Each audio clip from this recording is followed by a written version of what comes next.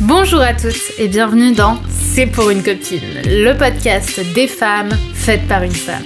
Je suis Brenda Boucris, fondatrice d'Attitude Séduction, chef d'entreprise, experte en amour et en relations hommes-femmes, et j'ai aidé quelques 500 000 personnes à devenir plus ambitieuses, plus alignées et plus séduisantes.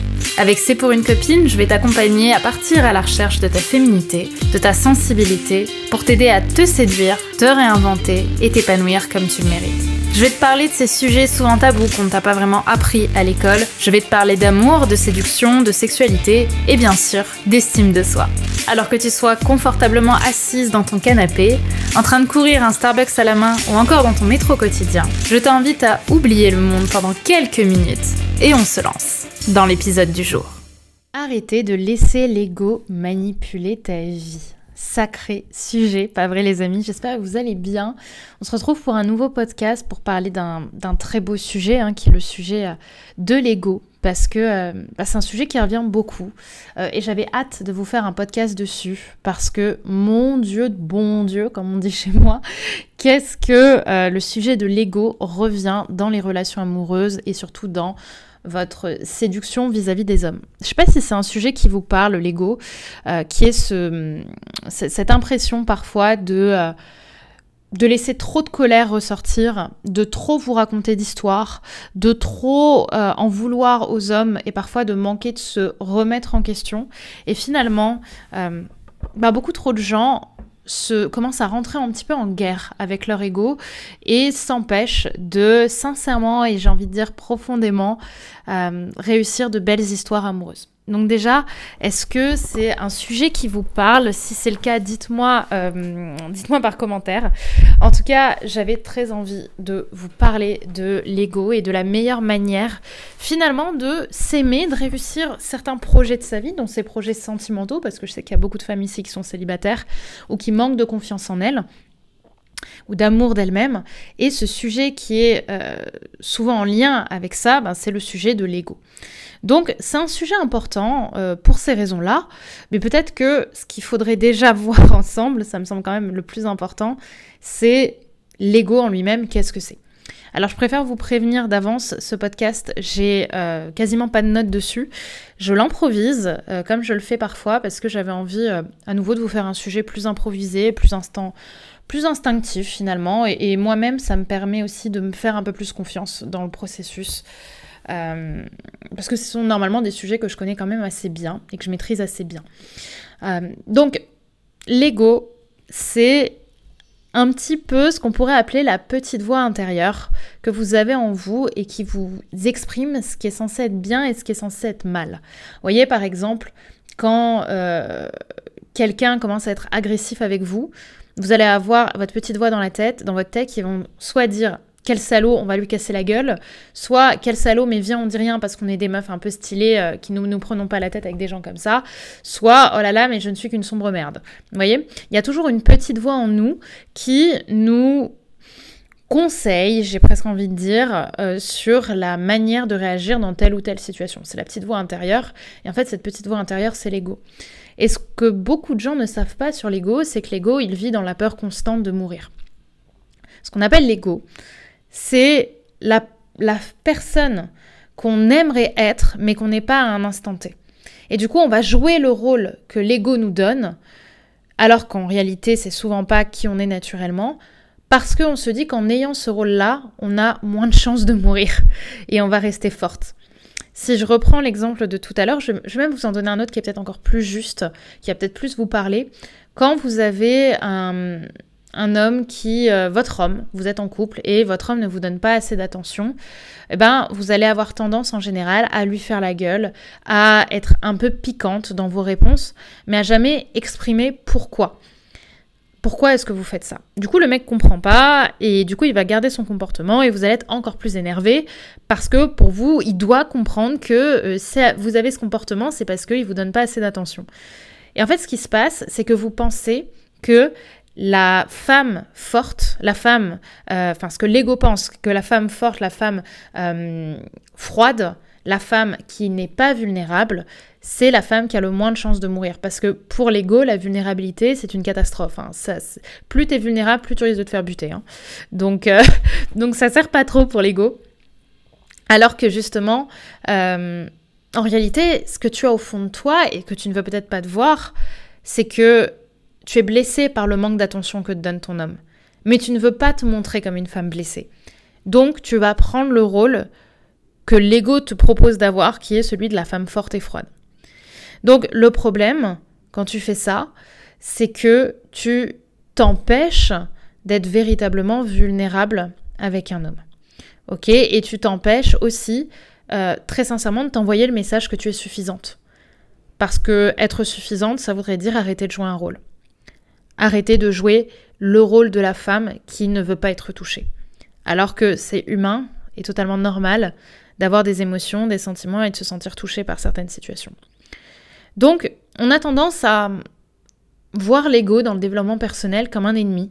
Parce que justement, l'ego te fait dire ça, l'ego te fait faire ça, euh, l'ego te donne l'impression que tu dois avoir tel ou tel comportement, mais toi tu veux pas parce que tu sais que l'ego c'est censé être un peu la partie de toi un peu destructrice.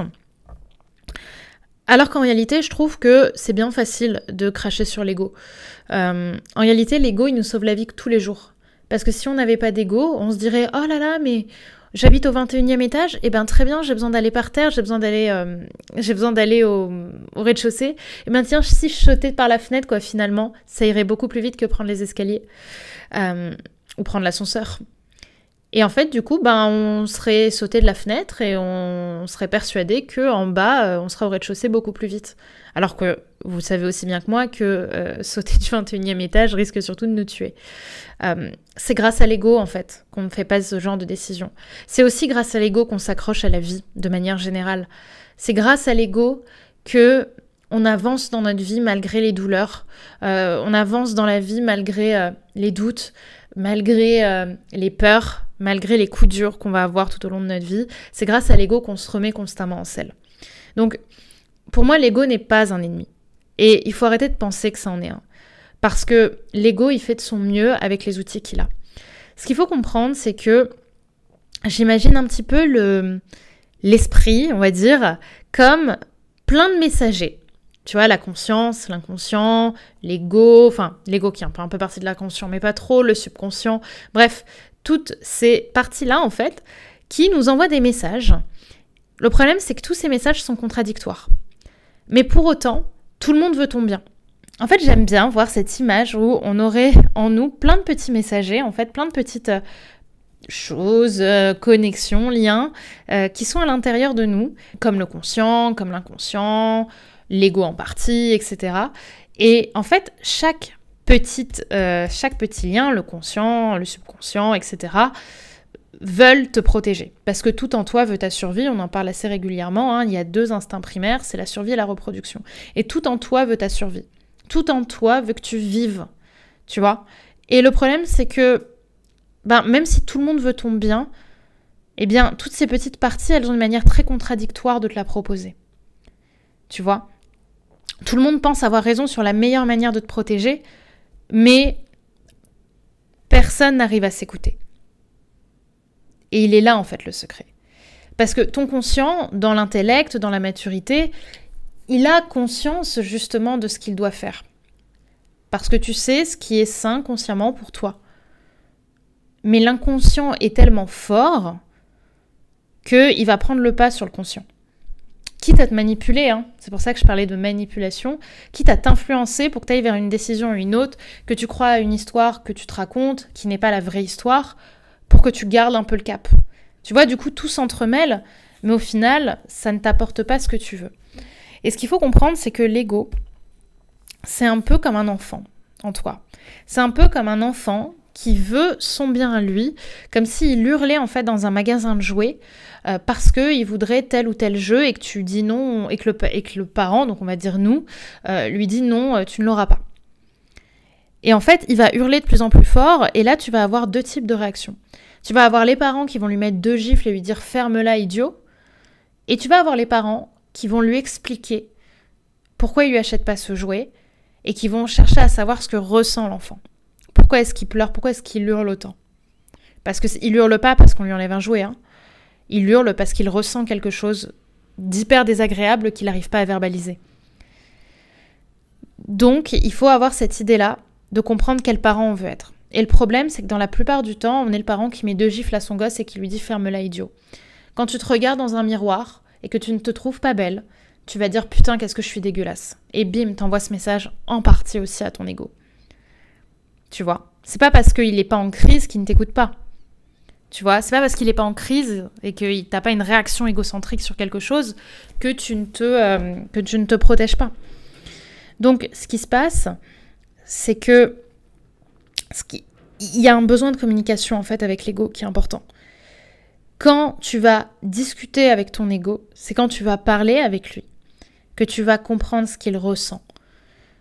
Et donc que tu vas pouvoir le libérer justement de cette pression qui se met, qui n'est pas la bonne pour toi. Par exemple, apprendre à cet enfant à exprimer ce qu'il ressent. Bah oui, là je me sens trahi en fait. C'est pas que je pleure parce que tu veux pas me donner ce jouet. Je pleure parce que moi je me sens trahi. Je veux pas te faire du mal en pleurant. Ce que je veux, c'est te, te montrer que je me sens trahi parce que je ne sais pas comment mieux montrer que je me sens trahi. Eh bien, l'ego, c'est pareil. Quand tu vas réagir de telle ou telle façon sur un sujet, tu vas pas réagir de telle ou telle façon parce que l'autre crée quelque chose. Tu vas réagir de telle ou telle façon parce que toi, tu te sens blessé. Et c'est sur ces blessures qu'il faut apprendre à communiquer parce que une émotion, tout comme l'ego, ce qu'il a besoin d'être pour disparaître, c'est d'être reconnu. D'être reconnu dans, dans, cette, euh, dans sa vulnérabilité et de le laisser s'exprimer.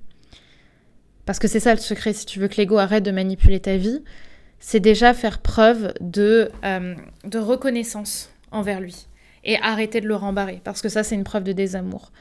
Refuser d'exprimer de la tristesse, c'est une preuve de désamour. Quand tu es en colère contre ton mec parce que ton mec a liké des photos de nana sur Instagram, bah en réalité, c'est pas t'as pas envie de gueuler contre ton mec, ça c'est l'instinct de survie, c'est l'ego. Mais en réalité, c'est pour pas lui montrer que ce que tu ressens vraiment, c'est la peur qu'il aille avec une autre femme ou que toi tu ne te sentes pas assez jolie. Et donc qu'est-ce que tu vas faire? Tu vas rembarrer ta vulnérabilité et donc te, désaimer pour montrer de la colère et te montrer forte. Mais est-ce que c'est sincèrement ce que tu ressens? Non. La plupart du temps, non. Surtout que la colère, c'est un déni de la tristesse. Hein. donc, euh, derrière la colère, il y a toujours de la tristesse. Et en fait, ce qui va se passer, c'est que tu vas commencer à parler avec lui de ce qu'il ressent. Pourquoi est-ce que tu penses comme ça? Et te laisser répondre, en fait. Réponds-toi.